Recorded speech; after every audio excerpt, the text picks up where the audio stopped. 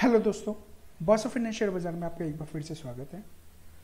आज हम एक ऐसे शेयर से रिलेटेड बातें करने वाले हैं जिसका जो कि स्मॉल कैप कंपनी का शेयर है और जिसका फ्यूचर काफ़ी ब्राइट नज़र आता है। ऐसा लगता है कि वो आने वाले सालों में पाँच साल दस साल पंद्रह साल में माइट uh, भी वो एक लार्ज कैप कंपनी बन सकती है क्योंकि जिस तरीके का उसका बिज़नेस है ओके okay, तो उस तरीके से हम कह सकते हैं कि वो शेयर डेफिनेटली वहाँ तक पहुँच सकता है। इतनी काबिलियत वो रखता है सेल्स में, उसकी बैलेंस शीट भी इस तरीके से नज़र आती है।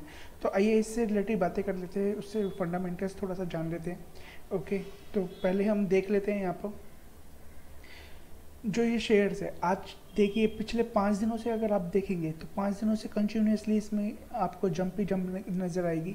जैसे कि अभी आप देख रहे हैं मार्केट लास्ट वीक तो पूरी मार्केट गिरी थी बट फिर भी ये शेयर पॉजिटिव आपको रिटर्न दे रहा था। यहाँ पर वन मंथ की बात करें तो वन मंथ में भी लगभग सेम इसी इसी एक कंसोलिडेशन फ़ेज़ में चलता आ रहा है।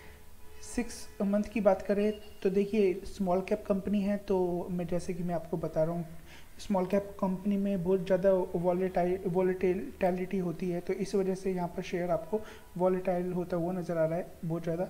और अभी पेंडामिक से पहले की बात की जाए तो पेंडामिक से पहले ये शेयर लगभग छः सौ रुपये के आसपास चलता था। पेंडामिक में ये शेयर लगभग थ्री सिक्सटी टू पे आ गया था और इसी फ़ेज़ में अभी देखिए कंटिन्यूसली चलता आ रहा है।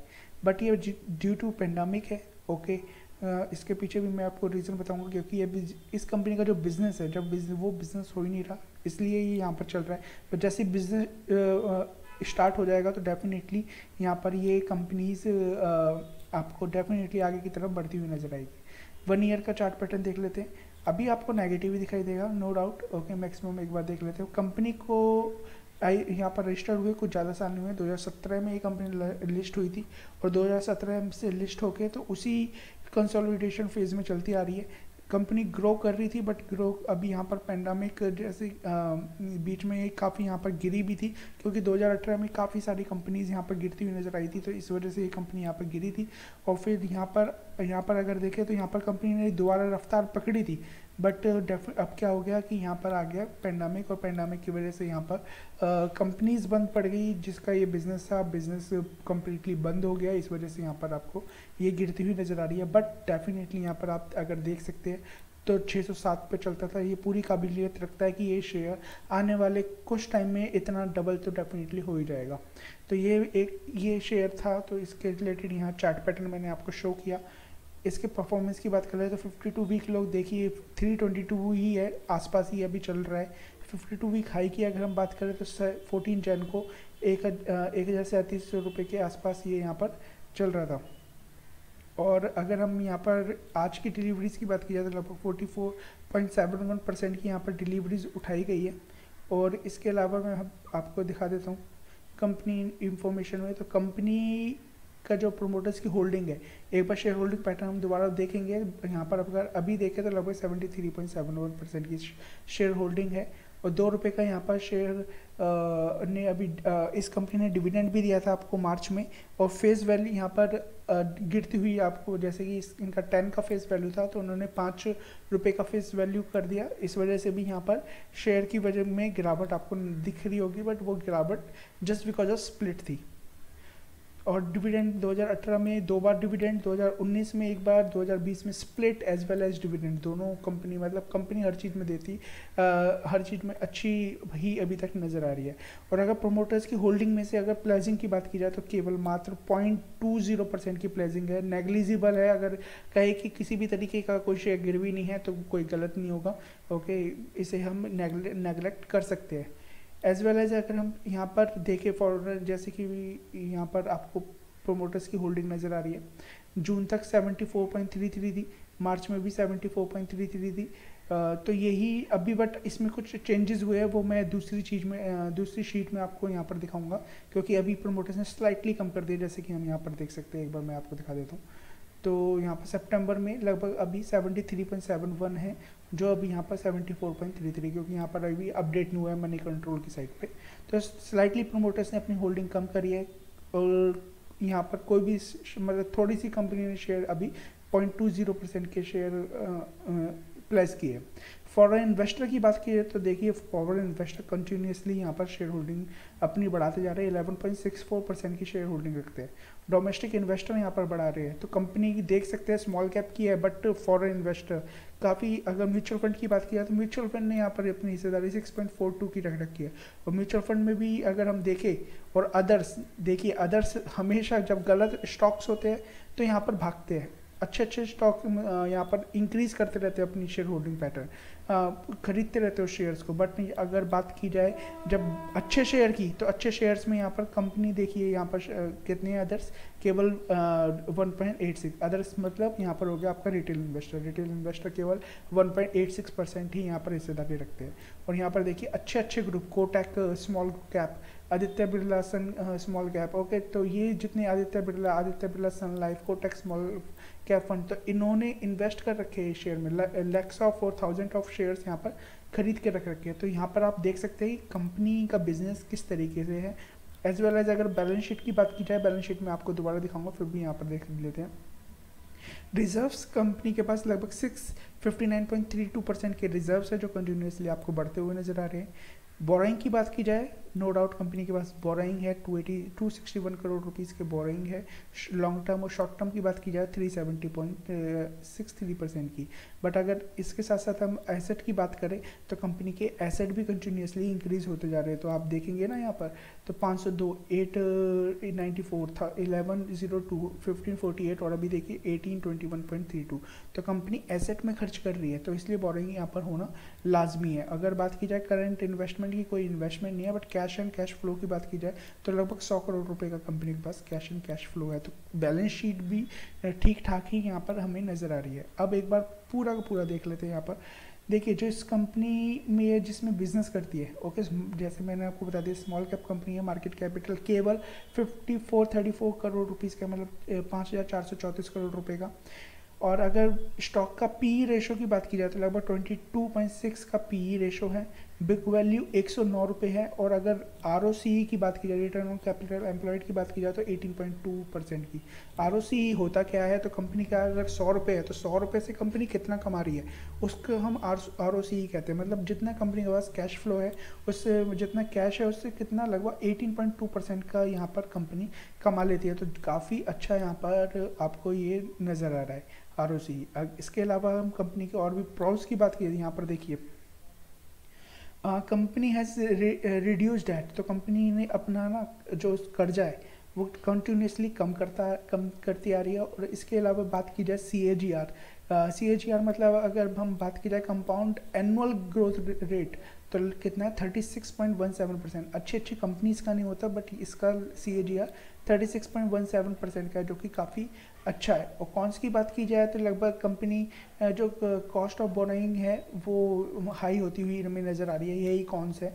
बट कंपनी के एसेट भी ग्रो हो रहे हैं उसमें हम कह नहीं सकते। तो, तो इसलिए इसे अगर नेगली नेगलेक्ट भी करते तो चलेगा। तो कंपनी काफ़ी अच्छी हमें नज़र आ रही है। क्वार्टरली रिज़ल्ट की बात की जाए तो यहाँ पर देखिए आप सेल्स देखिए कंपनी के। कंटिन्यूसली सेल्स यहाँ पर बढ़ते आ रहे हैं। फिफ्टीन थर्टी एट थे फिफ्टीन नाइन्टी टू थे सिक्सटीन इलेवन थे।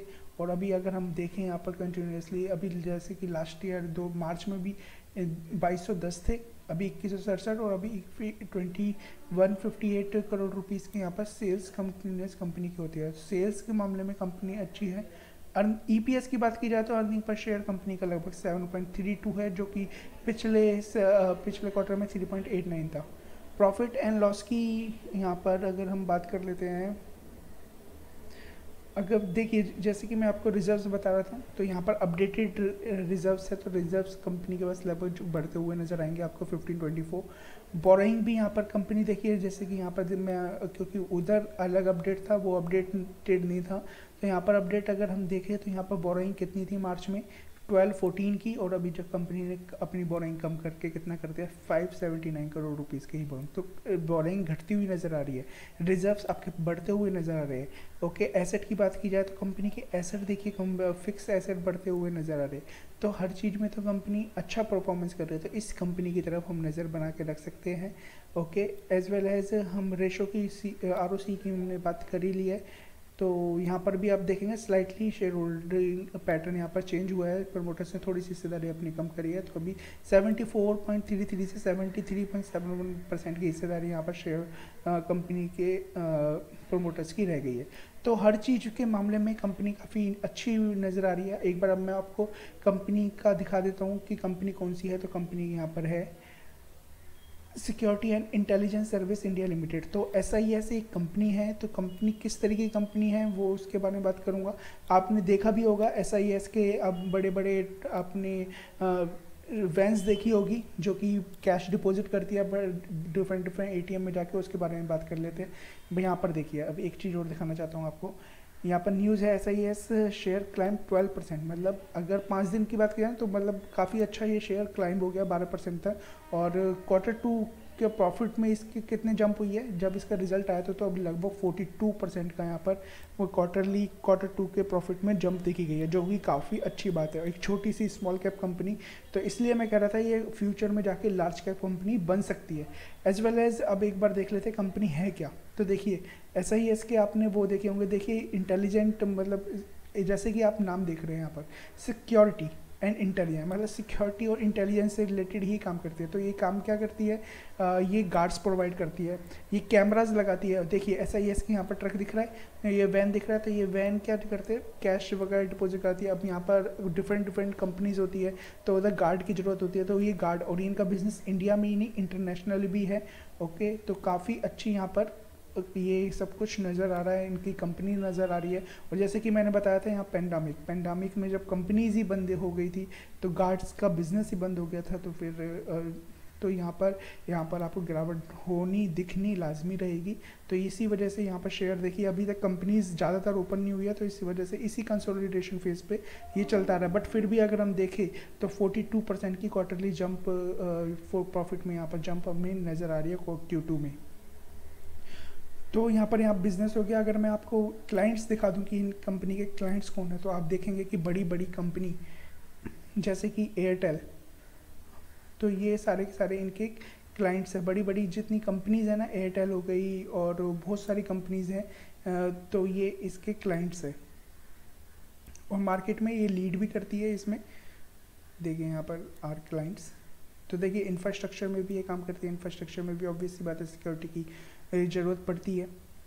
और अगर ये किस किसमें काम करते हैं power telecom transportation aviation port and logistic real estate and township education institution health care देखिए हर जगह ही तो सिक्योरिटी गार्ड की भी ज़रूरत होती है कैमरेज की भी ज़रूरत होती है तो कैमरे बनाने वाली मतलब सिक्योरिटी कैमरे सर्वेलेंस के लिए जो कैमरेज यूज़ होते हैं, उसे बनाने वाली ये कंपनी क्लाइंट देखिए Airtel T L Delhi metro तो इनके सबसे अच्छे अच्छे कंपनीज़ इनकी कस्टमर भी है तो इस नज़रिए से अगर हम देखें तो ये कंपनी काफ़ी अच्छी नज़र आ रही है। 42 परसेंट का क्वार्टरली यहाँ पर जंप भी देखा गया है।